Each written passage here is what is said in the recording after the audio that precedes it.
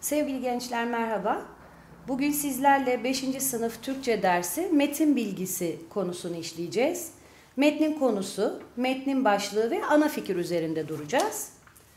Konu paragrafta üzerinde durulan, söylenen düşünce, olay ya da duruma konu denir. Önce konunun tanımını yaptık gençler. Peki bir paragrafı çözümlerken yapılacak ilk iş konuyu doğru olarak saptamaktır. Bunu yaparken de önce metnin en önemli kelimelerini belirlemek gerekir. Daha sonra bu kelimelerden hareketle konu bulunabilir. Konuyu bulmak için neler yapmalıyız o zaman? Metinde neden söz ediliyor?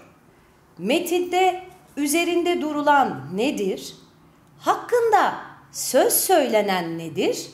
Metinde yazar neyden şikayet ediyor sorularını paragrafa yöneltebiliriz arkadaşlar.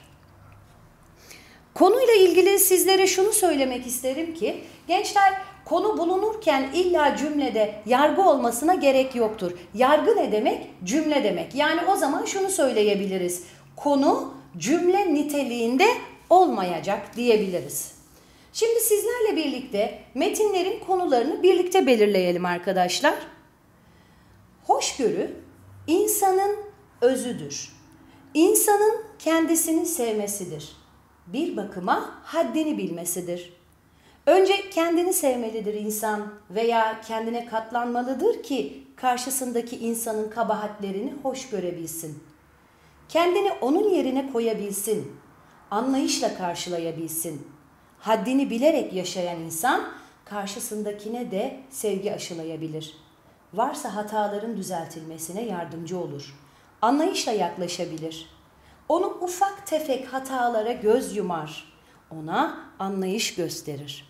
Şimdi bu metnin konusu nedir diye sorsam sizlere ne cevap verirsiniz acaba? Burada ne anlatılmış? Yazar neyden bahsetmiş desem ne diyebiliriz? Bakın burada hoşgörüden bahsediyor ve hoşgörünün genel konuya baktığımız zaman, metne baktığımız zaman hoşgörünün öneminden bahsediyor. O zaman biz konuya hoşgörünün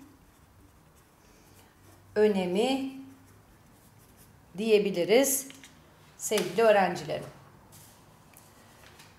Diğer metne bakalım. Fotoğraf çekerken makineyi doğru şekilde tutmak daha net fotoğraflar elde etmemize yardımcı olur. Fotoğraf makinesini sağ elin işaret parmağı denklenşörün yani fotoğrafı çekmek için basılan düğmenin üzerinde olacak şekilde iki elle tutmak gerekir. Fotoğraf çekerken makine titrememelidir. Çünkü makine titrerse fotoğraflar bulanık olabilir. Üç ayak ya da tripod adı verilen araç kullanılarak bu önlenebilir. Bu metnin konusu nedir dediğimde sevgili gençler ne düşünürsünüz? Yazar bu metinde neyden bahsetmiştir sizce? Şimdi şöyle baktığımız zaman fotoğraf çekmekten bahsediyor. Fotoğraf makinesinden bahsediyor ve fotoğraf makinesinin doğru şekilde tutulmasından bahsediyor. O zaman biz konuya fotoğraf makinesini doğru tutmanın önemi diyebiliriz yavrularım. Burada bakın yine size söylemek istediğim kesinlikle ve kesinlikle konuda ne yok çocuklar? Bir yargı yok. Yani cümle niteliğinde değil. Peki yine metnin konusunu belirleyelim, birlikte işaretleyelim. Bitki bilimcilere göre meyve bir çiçekli bitkinin çiçeklerinden gelişen ve bitkinin tohumlarını içeren yapıdır. Domates, salatalık, kabak gibi sebzeler de birer meyvedir. Ama genellikle tatlı meyveler meyve olarak adlandırılır. Domates ve salatalık gibi yemeklerde ve salatalarda kullanılan meyveler ise sebze adı verilir. Bazı bitkilerin yaprak, çiçek, kök gibi bölümleri de sebze olarak adlandırılır. Burada konu meyvenin faydaları mı? Çiçekli bitkiler mi? Meyve ve sebzenin farkı mı? Yoksa sebzenin kullanıldığı yerler mi? Hangisi olabilir sizce? Bakın e, yukarıda domates, salatalık, kabak gibi sebzeler de birer meyvedir diyor. Daha sonra çiçekli meyveler, çiçekli sebzeler, domates, salatalık gibi e, meyveler yemeklerde ve salatalarda kullanılan meyvelerdir. Bunlara da sebze adı verilir diyor. Dolayısıyla cevabımız bizim ne olur sevgili gençler? Meyve ve sebzenin farkı diyebiliriz. Çiçekli bitkiler ve çiçeksiz bitkiler olarak. Pekala metnin başlığına geçelim arkadaşlar. Öncelikle başlık nedir? Başlığın bir tanımına bakalım. Metinde anlatılanları en iyi özetleyen kelime ya da kelime grubuna başlık adı verilir. Başlık bazen cümle halinde, bazen de soru cümlesi halinde olabilir. Peki başlık yazarken nelere dikkat etmeliyiz?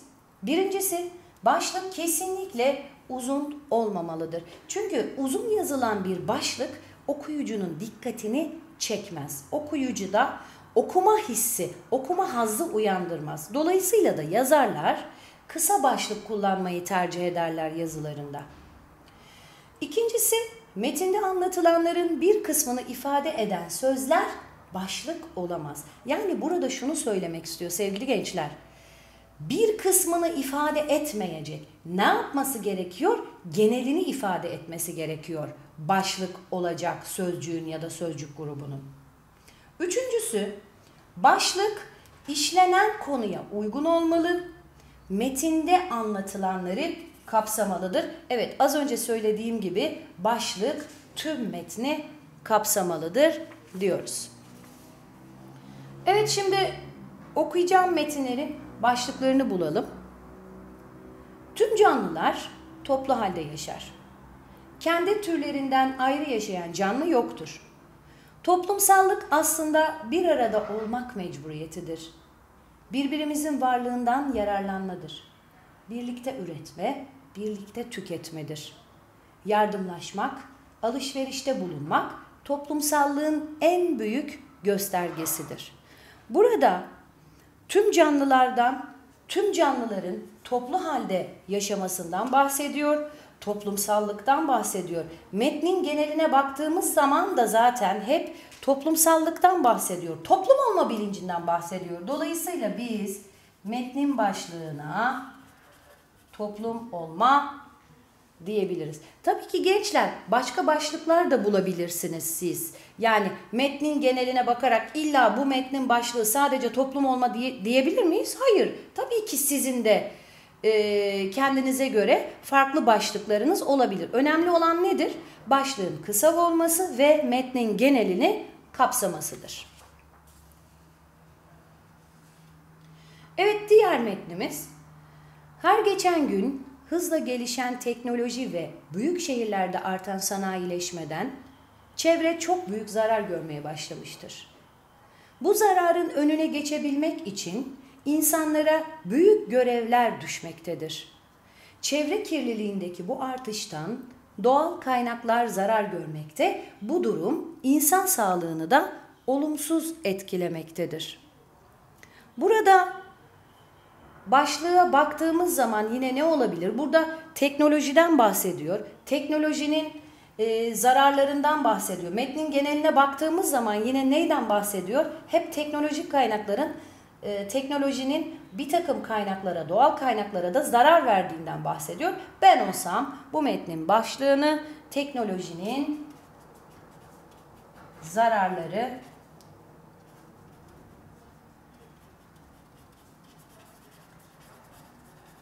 yazarım. Burada söylemek istediğim bir şey daha var çocuklar.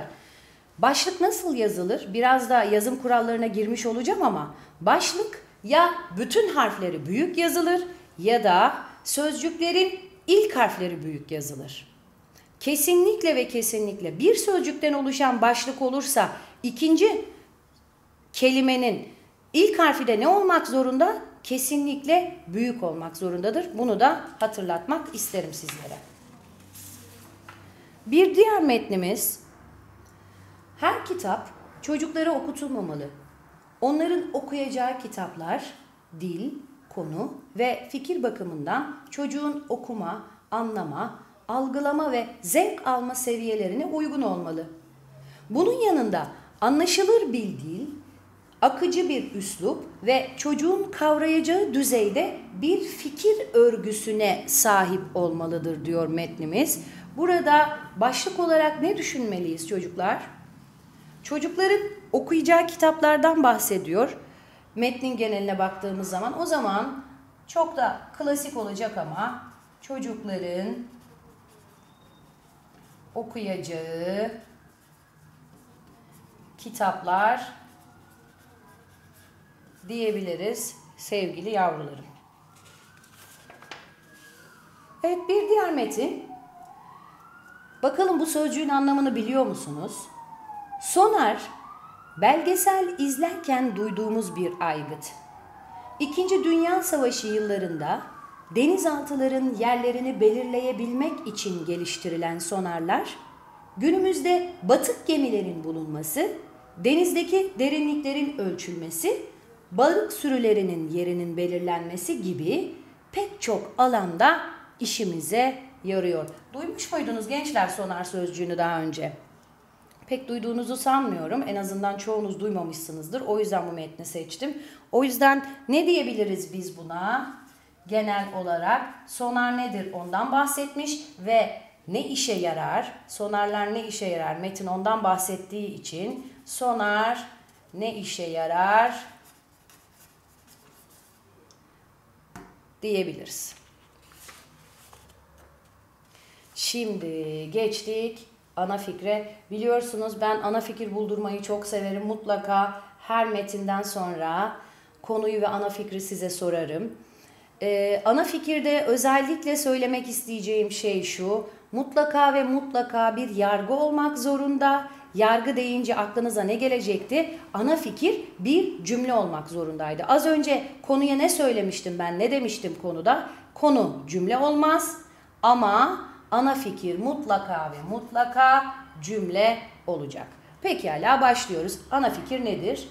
Metinde okuyucuya verilmek istenen iletiye ana fikir denir. İleti gençler. Ana fikir metnin yazılma amacıdır.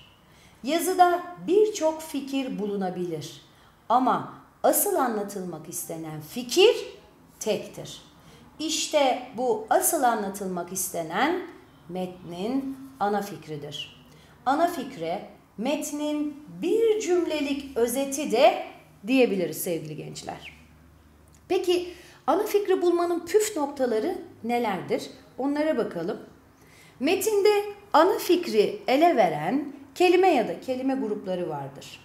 Sözün özü, kısacası, sonuç olarak, özetle gibi sözlerden sonra genellikle parçanın ana fikri verilir. Her zaman bu sözcükler olmak zorunda mı gençler? Kesinlikle hayır. Keşke olsa ana fikri bulmamız çok daha kolay olur. Bir diğer püf noktamız metnin ana fikrini belirlemenin bir yolu da metnin konusunu ve yazarın bu konuya bakış açısını belirleyip bundan hareketle ana fikre ulaşmaktır.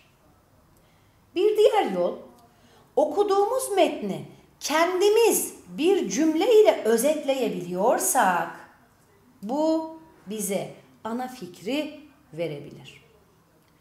Metni okurken anahtar kelimelerin altını çizelim. Çünkü anahtar kelimeler metnin ana fikrini bize verebilir. Tekrar ediyorum yavrularım. Ana fikirde aklınıza ne gelecek? Ana fikir yazarın bize vermek istediği mesajdır iletidir ve mutlaka ve mutlaka bir yargı olmak zorundadır ana fikirde. Metnin yazılma amacıdır. Geçiyorum burayı da. Haydi hep beraber metinlerin ana fikirlerini bulalım. Yapılan iyiliğin en güzeli ve en değerlisi karşılıksız ve gizli şekilde yapılan iyiliklerdir. Çünkü bir insan iyilik yaparken bunu çıkar gözeterek yaparsa yaptığı iyiliğin hiçbir anlamı kalmaz. Hatta bu davranış karşılık beklendiği takdirde iyilik olmaktan çıkacaktır. Bu sebeple insan iyilik yaparken bunun sonunu ve yaptığı iyiliğin karşılığını hiçbir zaman düşünmemelidir. Evet sevgili gençler, siz de siz olun lütfen. Bir iyilik yaparken karşılık beklemeyin lütfen. Bunu size söylerken bile aslında ben ne yaptım şu anda? Ana fikri bulmuş olmadım mı? Evet, ne diyebiliriz o zaman? En güzeli, en güzel iyilik karşılık beklemeden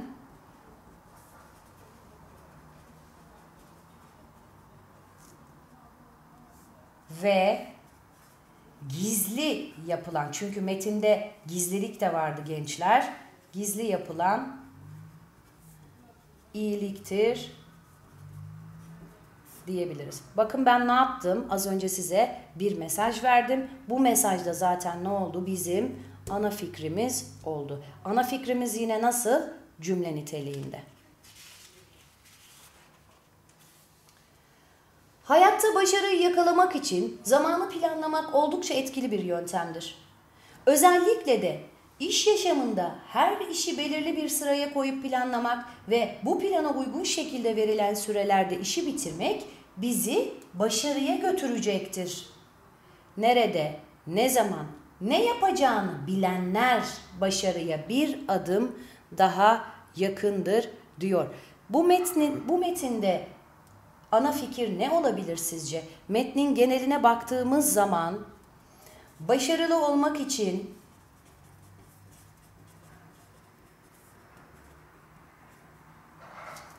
plan yapmak gerekir. Yargısı çıkabilir. Biz buna ana fikir diyebiliriz.